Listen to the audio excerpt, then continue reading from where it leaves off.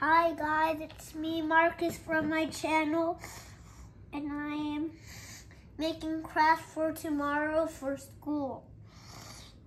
Today I didn't have class. And then we're gonna get all those decoration over there.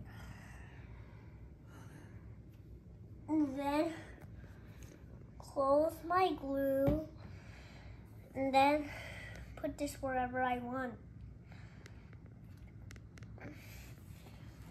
Good part.